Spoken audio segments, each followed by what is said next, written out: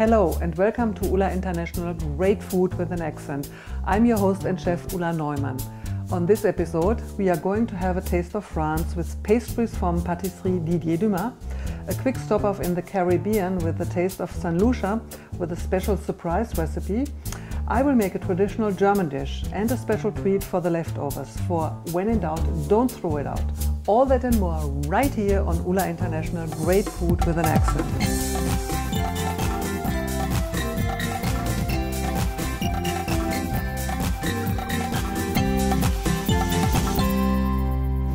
The Ulala.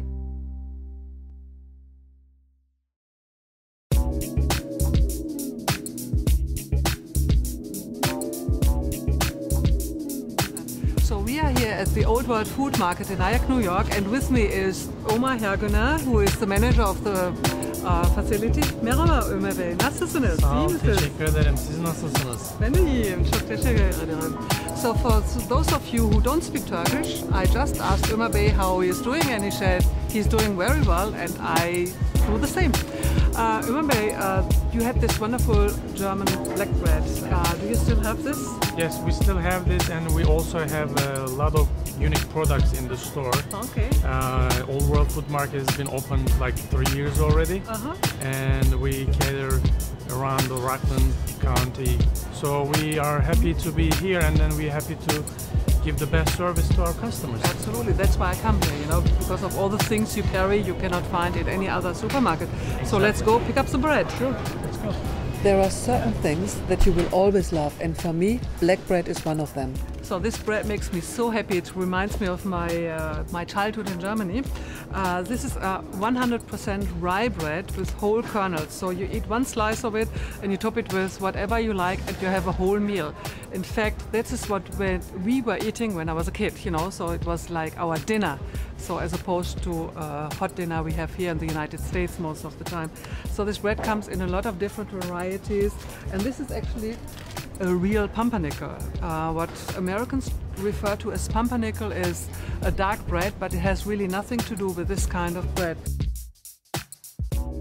These are traditional European ingredients German black bread and French butter. Oh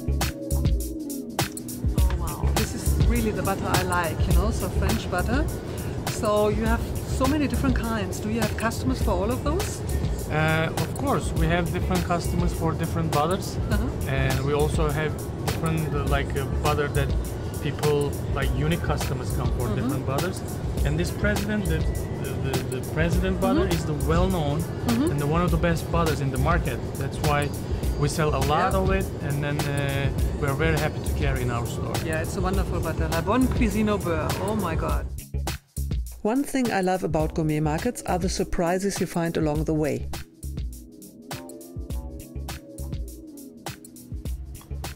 Ooh la la, cornichons. I didn't uh, expect to find them in any supermarket here.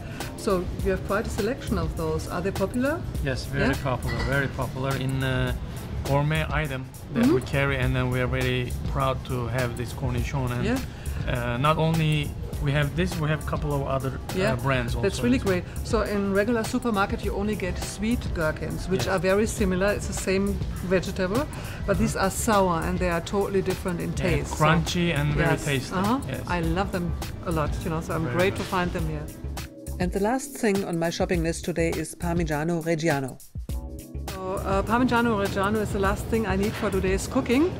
And thank you so much for being on the show. I thank you very much too. You're welcome.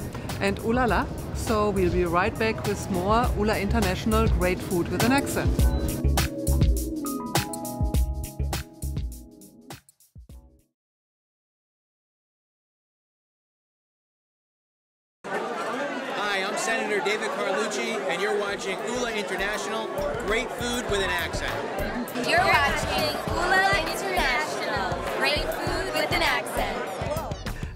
Show you how to make a very nice and simple appetizer with asparagus.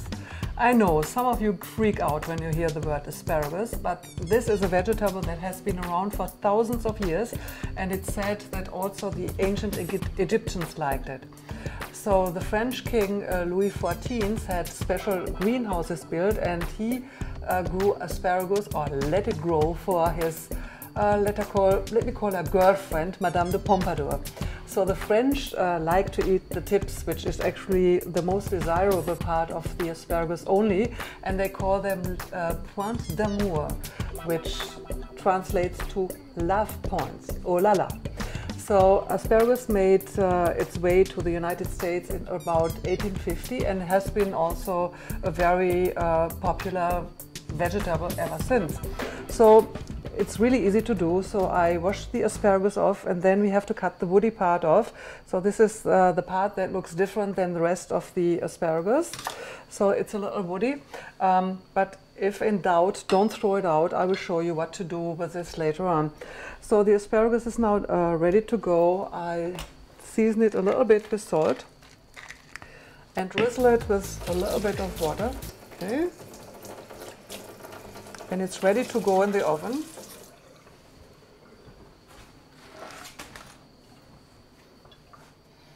This goes in a 350 degree oven for three minutes. Yes, that's all, three minutes.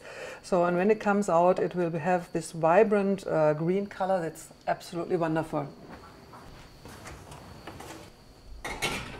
And here is your finished product. So I rolled asparagus in ham, but you can also roll it in salami, in prosciutto, in cheese, whatever you like. Voila. Mm delicious. Asparagus tips the ooh la la way.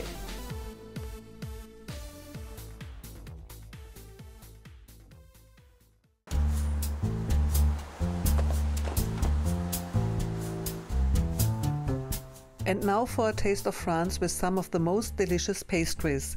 This brings me right back to my time as an exchange student in France. Hello and welcome back to Ula International Great Food with an Accent. I'm here today with Didier Dumas, owner of Didier Dumas Patisserie in Nyack, New York. Bonjour Didier, comment ça va? Ça va bien, là, c'est plaisir de te voir. Oh, okay. Didier, did you always want to become a pastry chef? Uh, as far as I can remember, yes. Oh, wow. I remember I was coming out of school uh -huh. and looking at all the window of the bakery uh -huh. for hours, yes. Well, that's great. That's so so you never wanted to do anything else? No, anything else. So that's why you are that's why you are so good at it. That's great. And I absolutely love this mango caramel cake. So how do you make it? This one? Yes. Uh, this one is actually um, two different light cream. Uh-huh. The bottom one is a mango mousse. Okay. The top one is a caramel mousse. Uh-huh with a thin layer of chocolate cake in between. Mm-hmm. And actually, um, I have some ready that I'm going to decorate on the top if you want to wow, follow me in the kitchen. I would love to see that. Let's go. Allons-y. Okay. Merci.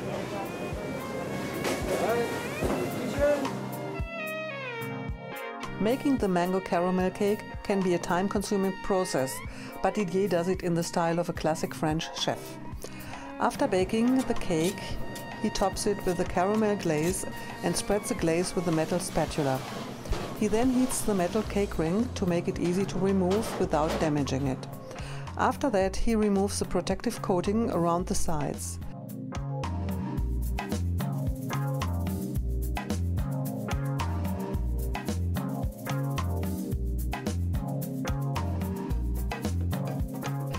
Didier finishes the cake by garnishing the top using strawberries brushed with the glaze and adds stylized chocolate shavings to complete this edible piece of art.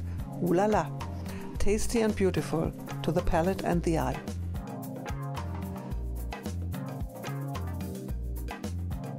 Thank you for being on the show today, Didier. Yeah, thank you for coming and for oh, choosing us. Okay, thank you.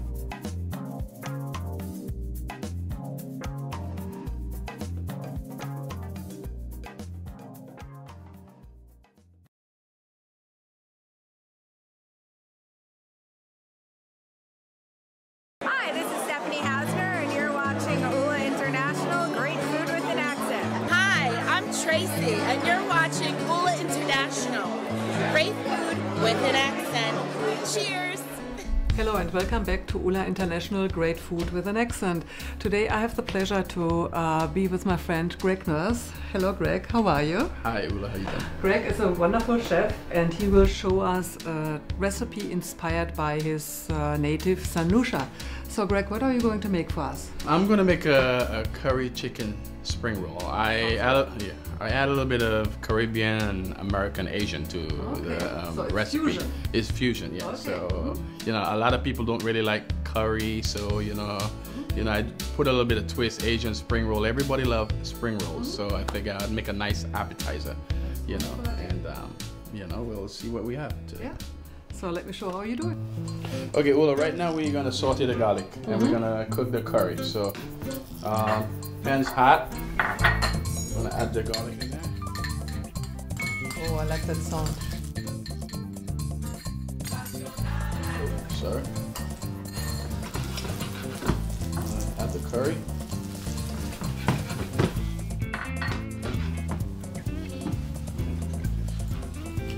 Keep stirring this. Get the nice smoky curry flavor. This is actually coming together beautifully here, Ola. You got some nice Caribbean flavor here. Um, wait. So, and we're gonna put the chicken.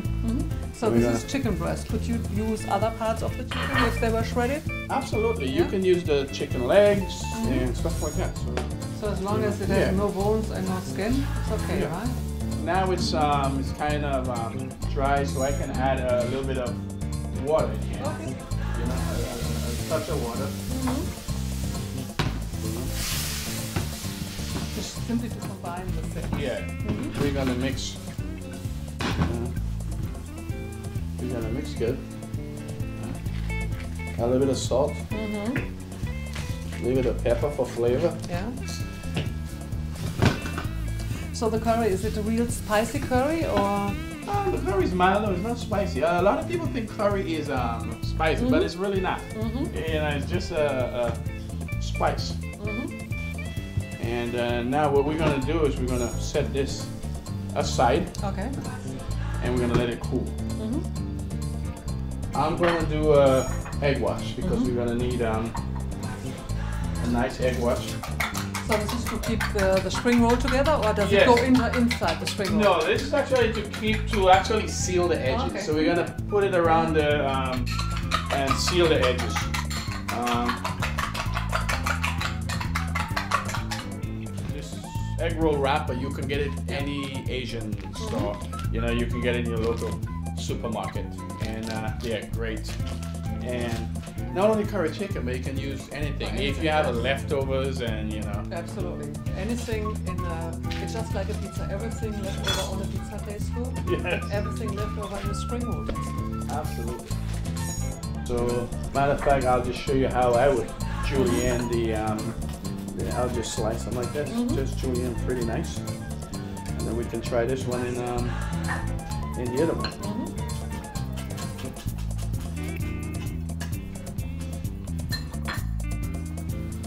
So again, we're gonna take the egg wash just to seal, and this is only sealing the, you know, the spring roll. A Yeah. sticking together. stick together. Take a nice curry. Add some in the center. And add the julienne. This probably would also be very nice to be done with shrimp, right? Absolutely. Yeah. You can use um, you know, shrimp. Um, another or one of my favorite um, dishes, spring roll. I like. I get um, another thing we have in the islands in the Caribbean. Um, A lot of people don't think about it, but I take um, codfish. Oh yeah. Codfish fritters, yes. Codfish, I use it in that too, but I would idea. use Mhm. bok choy, is another Japanese cabbage, Yeah. and I julienne the um, bok Mhm. choy and add it in there with the some tomatoes, all Yeah. that goes with it, and um, it works So we should do a show just on, uh, you know, these wraps. Absolutely, Yeah. and you can use, you know, so, and you don't have to do it right there and then. You can always do it the day before, Mm-hmm. and you wrap it well and keep it in your refrigerator, Mm-hmm. and then you just fry it.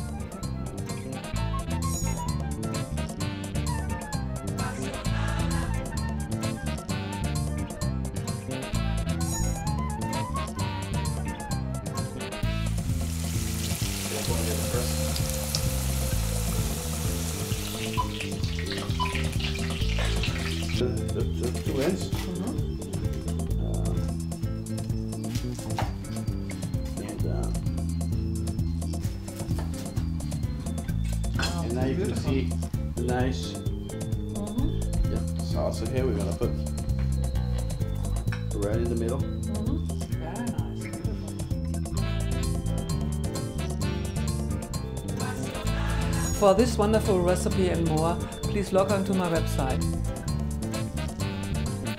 Ooh la la, what can I say?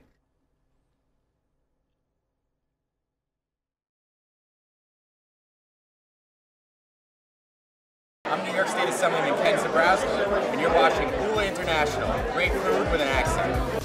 Welcome back to Ula International Great Food with an Accent. I'm showing you a very easy appetizer. There is no cooking required. It's a Schinkenbrot. A Schinkenbrot is a piece of black bread with butter and ham. That's all there is to it, and we top it with a gherkin. So um, I choose French butter because the fat content is higher than uh, butter we usually have here in the United States, and that means fat is equals um, taste, so it tastes really good. So this is done. I cut the bread in halves and then in triangles and simply top them with Schinken. It's, Schinken is actually the German version of prosciutto. Other than prosciutto though, it's smoked and not air cured.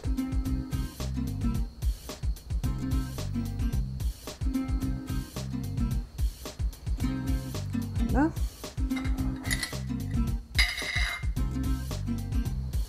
These little gherkins are actually called cornichons. They are French pickles and they are sour as opposed to sweet gherkins we have here. And voila, this is Schinkenbrot.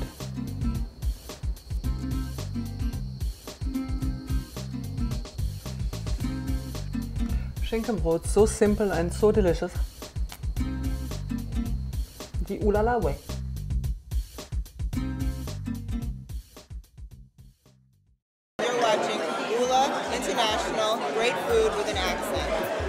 Today I'm showing you how to make potato pancakes the German way. So potato pancakes are a staple food in Germany, Switzerland and Austria. So if you have nothing in your house, you definitely have potatoes. And I made a batter here. I grated two large potatoes, um, seasoned them with a little bit of salt, you know, mixed, mixed them with an egg and a little bit of oatmeal. And we are ready to fry them off.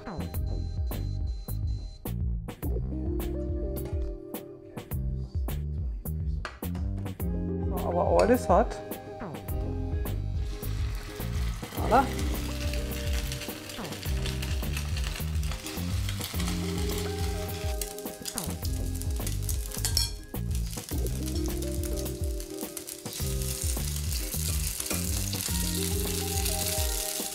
So when you grate potatoes, um, they have a tendency to release much more water as they sit, and you always have to, you know, spoon it off, just like I do right now.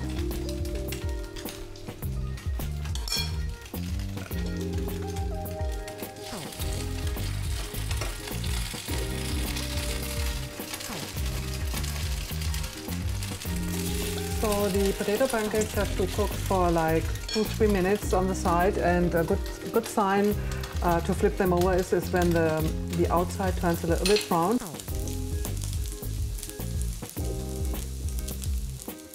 Our potato pancakes are now ready and we can take them out of the pan and let them drain on paper towel for a while and also cool down a little bit uh, until they are really easy to handle. And once we are done, they are cooled down. We top them with a little bit of sour cream, some salmon and chives and they are ready to eat. Mm. Delicious. These are potato pancakes the Ulala way.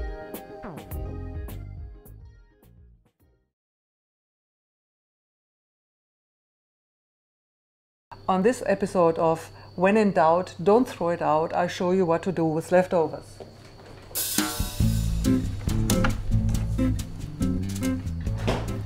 So with this leftover asparagus, I will be making a very simple sauce for pasta or rice or potatoes. So I take the leftover spears and cut them up over an angle in like half inch pieces or so.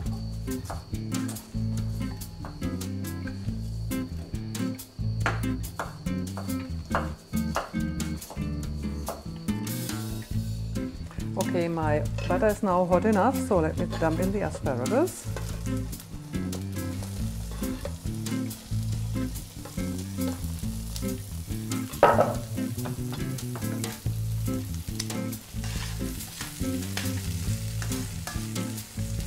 The only thing I have to do with this asparagus is to heat it and add a little bit of pepper. So it was seasoned before, so we don't need salt.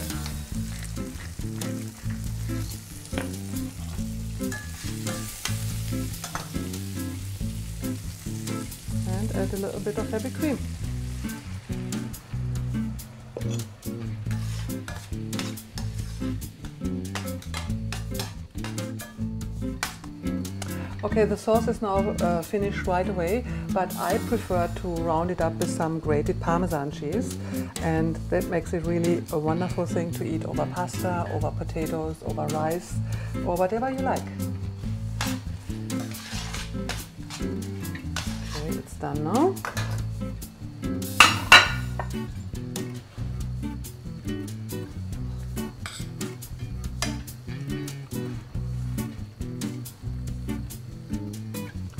Leftover asparagus, the Ulala way. It's wonderful. Thank you for joining us on our journey around the world.